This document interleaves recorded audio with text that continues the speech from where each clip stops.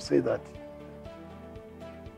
the training has really impacted greatly because one, I have appreciated the, the contribution of community in planning. It was not later than yesterday that I knew that community is very important in the planning because they know what they need. They know what they lack and they know the solution. Only they need somebody to take up the solution. Mm. Two, it has made me to appreciate issues that I had taken as very minor, trivial, like uh, gender-based violence, gender issues. But now I have known that these are very important issues we have to continue in development. There is nothing that can be done without them. They must be there. They must be integrated in all our budget of all, all our activities. The first intervention is that we have taken it as an initiative for all health activities, all health workers to appreciate uh, victims of uh, gender-based violence and take them as an emergency. They must attend to them immediately. The triage, they must be taken as a center of emergency.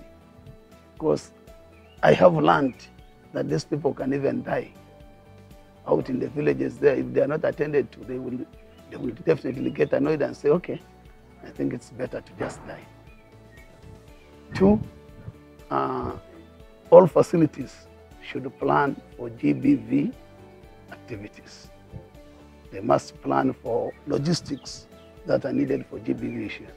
I think the other thing is we should have uh, a special unit for GBV, especially at the higher facilities, health center fours, given that the rate of GBV is high, especially for victims of female genital mutilation.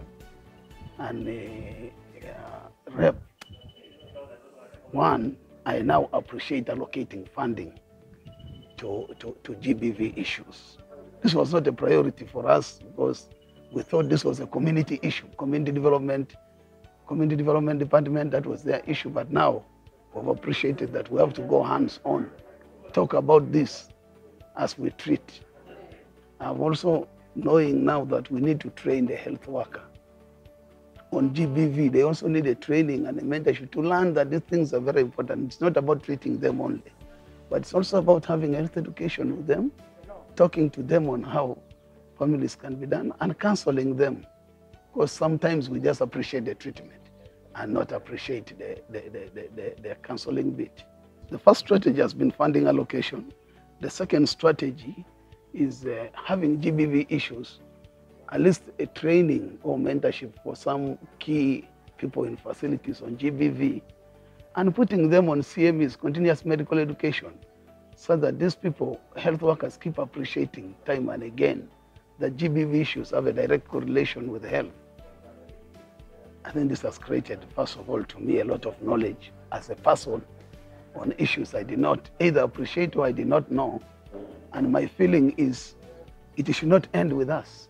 It should not end with me. Yes, for me, I have known. I am able to first begin with my family because you begin from home. But others also need to, to, to be given this. Whichever way, eh, that is very rare in that we don't have radios.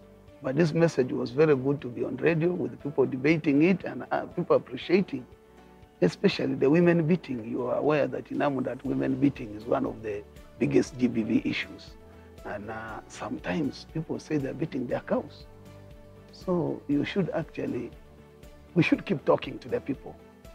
So I, I think we should cascade this training to even the leaders.